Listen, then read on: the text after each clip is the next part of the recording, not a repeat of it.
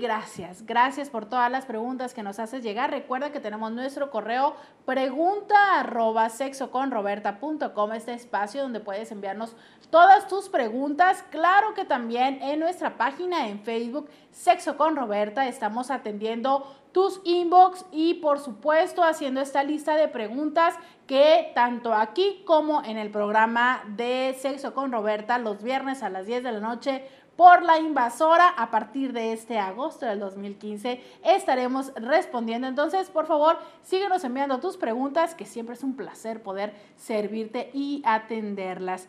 Hoy, esta noche, la primera pregunta es de un hombre y dice, buenas noches, doctora Roberta. Tengo varias preguntas, ojalá me las puedas responder.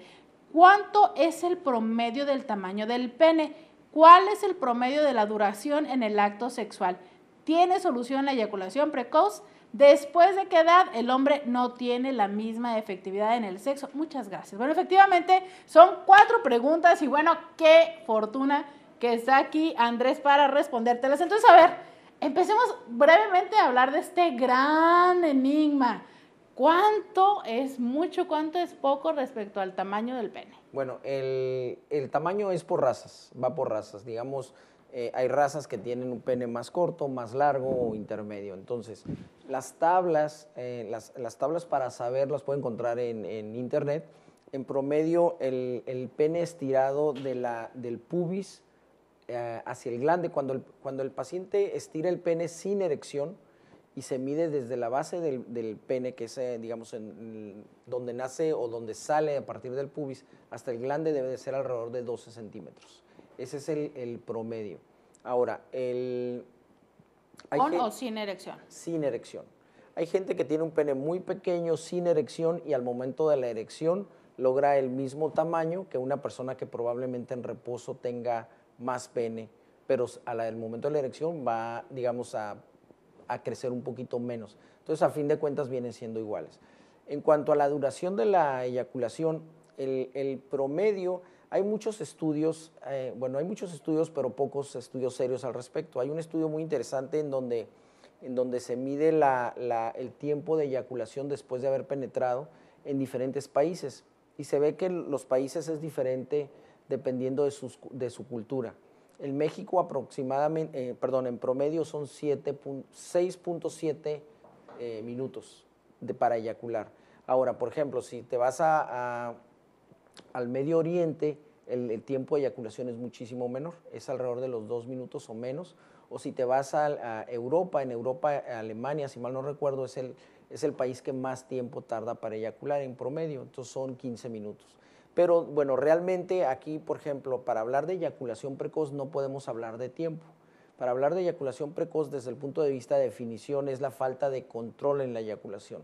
Una persona que tarde 20 minutos, por dar un número, en una relación sexual, pero al momento de que le viene la sensación de eyacular, eyacula, ese se puede considerar un eyaculador precoz, porque no está controlando la eyaculación.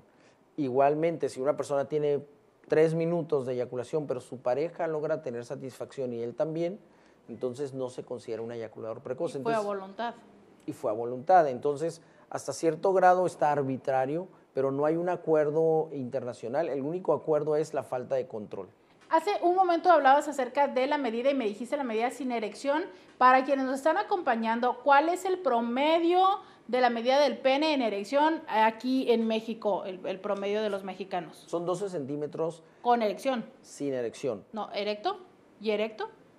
Erecto sube, sube hasta 16 centímetros, mm. pero el, las tablas por edad, porque muchas veces esta duda genera, bueno, generalmente es para los niños. El papá ve un, eh, a su pequeño y resulta que ve un pene muy, digamos, diferente, entonces es un motivo de consulta frecuente. Entonces hay en internet pueden encontrar las tablas para ver por edad cómo se mide y qué tanto, digamos, debe de ser. Y entonces, bueno, eso es el, como el principio de la vida, eh, lo que significa es, bueno, eventualmente irá creciendo, ¿no? Sabemos que en el periodo de la pubertad crece. La pregunta sería, conforme va pasando la vida y te acercas a esta llamada tercera edad, ¿el tamaño del pene decrece? Un poquito, sí decrece un poco y muchas veces es el estado, incluso hasta el estado de ánimo. El, el, al principio hablábamos Y el frío, ¿no? Pero bueno, no hablemos de temperatura. este, al principio hablábamos de que el pene son esponjas. Son tres esponjas, dos cavernosos y un esponjoso. Entonces tienen una circulación que es continua, o sea, llega sangre y sale sangre. Si el paciente, por ejemplo, está deprimido, va a llegar menos sangre, tiende, tiende a llegar menos sangre y el pene se le va a ver más pequeño, independientemente que la erección va a tener la misma longitud que la tenía cuando tenía un pene en reposo más grande. Entonces, el estado de ánimo es uno, eh, la temperatura es otro que comentabas también. En ocasiones cuando hay cirugía pélvica, algunos tipos de cirugía, al momento de cicatrizar por dentro hace que se jale, se tracciona un poquito el tejido y se hace más pequeño el pene. Eh, la gente con obesidad, el, pubis, el pubis, eh, digamos, cuando se deposita grasa, ese pubis va a crecer y eso hace que se cubra un poquito el pene. Entonces hay... Se dice que estadísticamente por cada 10 kilos se aparentemente pierde un centímetro de pene, precisamente por la grasa. En por la grasa en el pubis. Sí, y este, ahora hay pacientes que tienen obesidad y que casi no tienen depósito de grasa ahí. Entonces es curioso porque son, digamos, un, uno los ve con una obesidad, digamos, distribuida uniformemente, pero al momento de revisarlos casi no tiene obesidad ahí.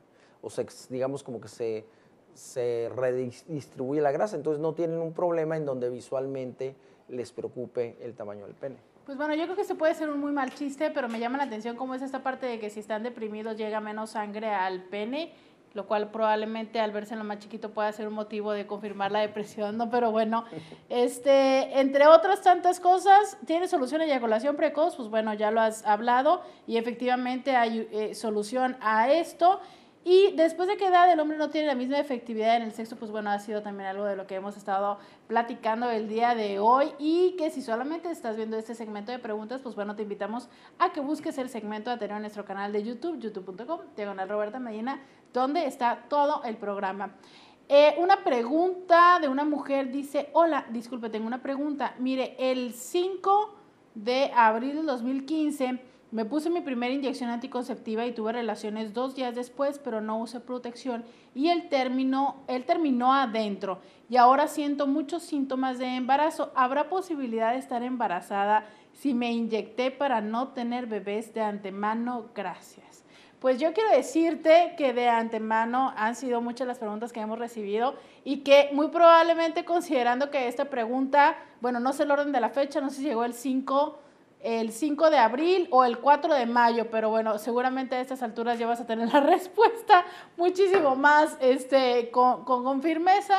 Y bueno, sabemos, por cierto, y eh, no me dejarás mentir o corrígeme si me equivoco, que bueno, definitivamente la primera dosis tanto la primera dosis después de una eh, de, la inyección anticonceptiva como después de la vasectomía, hay un tiempo que se tiene que eh, permitir que el cuerpo eh, se adapte a este suministro de hormona y a este cambio en el caso de la vasectomía. Y lo mismo sucede con las pastillas, ¿no? Entonces, definitivamente estos dos días no creo que hayan sido suficientes como para poder lograr el impacto necesario y que, cumpla la función, ¿cierto? Sí, así es. Se les, se les debe dar un periodo de espera, mucho depende del tipo de anticonceptivos que se hayan puesto. Y la dosis. Eh, y la dosis. Y en cuanto a la vasectomía, son alrededor de de 12 a 24 eyaculaciones en donde se vacían los depósitos, que es en las vesículas seminales, y hay que hacer un examen porque es muy variable. Hay gente que tarda más tiempo todavía en vaciar completamente las vesículas. Entonces,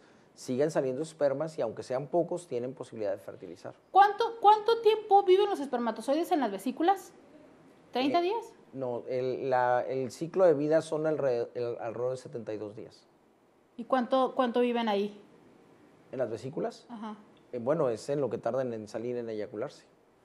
Y entonces, eh, bueno, esperamos que la respuesta que hayas tenido en tu propia vida te haga feliz y de todas maneras agradezco tu pregunta porque seguramente hace la oportunidad para todos los demás de tener presente que aunque los métodos puedan ser muy efectivos, Nunca lo son el primer mes. Siempre, incluso cuando se compran estas pastillas, ahí viene el instructivo que el primer mes no debes confiarte y debes de seguir utilizando el condón.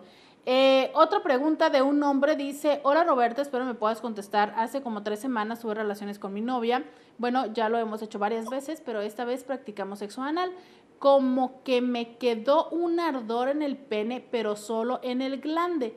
¿Será algo malo o es normal? No me duele ni me arde, solo es algo diferente. ¿Qué tan frecuente te llegan estas este, consultas a tu bueno, es eh, relativamente frecuente que haya relaciones anales sin protección y que tengan, adquieran prostatitis. El problema aquí es de que el tipo de bacteria que está en el, en el, en el ano, al momento de entrar a la próstata es un problema, digamos, es muy difícil tratarlo, porque los medicamentos que hacen efecto en la próstata muchas veces no matan bien estas bacterias. Entonces, aparte de que son tratamientos largos, no son tratamientos del todo efectivos. Entonces, esa, eh, un consejo sería que si una persona que practique este tipo de sexo, bueno, que se ponga preservativo para protegerse, porque siempre entran, aunque se hayan puesto enemas, eh, se hayan cubierto bien, de todas formas hay bacterias y las bacterias van a quedar en la uretra y sí les, y sí les genera, les puede generar uretritis, pero lo más temido, el, el mayor problema es que les genere alguna prostatitis, ¿no? Y fíjate, él dice que tiene como un ardor en el pene solamente en el glande. Y creo que es importante y ojalá este, te, invito a que nos visites en el canal donde tendremos más tiempo para poder poner esto en imágenes. Es importante tener presente todo el espacio y el trayecto que llevan estas bacterias, porque bueno, aunque tú ahora te estés eh, sintiendo solamente en el glande, eh, la bacteria tuvo que haber recorrido toda la uretra y llegar hasta la parte donde está en la próstata para poder depositarte, la, depositarse ahí. Y la pregunta sería, si ese medicamento no es el correcto, ¿podría haber implicaciones a nivel renal? No, no, no, no. El, el, el, medicamento se tiene que dar, cuando nosotros le damos el medicamento para próstata, tiene que ser mucho más tiempo que si es, por ejemplo, para la uretra. El, problema de la próstata es de que el grado de acidez de la próstata no permite que trabajen bien los medicamentos. Llega el medicamento, pero llega inactivo. Entonces, al mm. momento de llegar, como esa, digamos, no funciona como debiera funcionar. Entonces, se tiene que dar más dosis porque es como si estuviéramos dando a cuentagotas el, el, antibiótico. Pero muchas veces, los antibióticos que matan este tipo de bacterias que, son, que están en el, en el recto, eh, simplemente no trabajan en la próstata. Entonces, es cuando sí nos ponen en un predicamento porque el paciente, por un lado, tiene síntomas eh, y por otro lado no lo podemos, no lo podemos combatir. ¿no? Te pedimos y te invitamos a que sigas enviando tus preguntas. Recuerda nuestro correo pregunta arroba sexoconroberta.com. Y bueno, eh, afortunadamente tenemos muchas preguntas y a veces nos toma un poco más de tiempo responderlas. Precisamente por eso tenemos un programa al mes dedicado a responder únicamente tus preguntas. Recuerda, el primer programa de cada mes está dedicado a responder esto que nos compartes y que por supuesto te invitamos a que también veas algunas respuestas en nuestro canal en YouTube y por supuesto que nos busques en nuestra página de Sexo con Roberta donde también puedes encontrar información muy útil. Regresamos después de esta pausa comercial.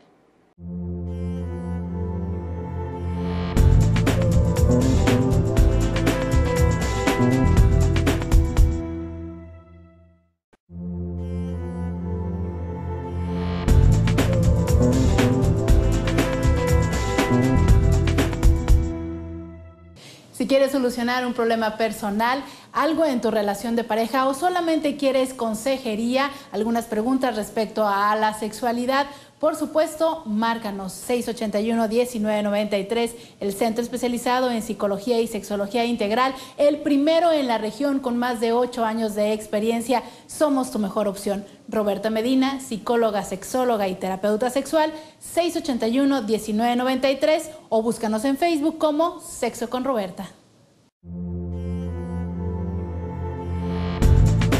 Thank you.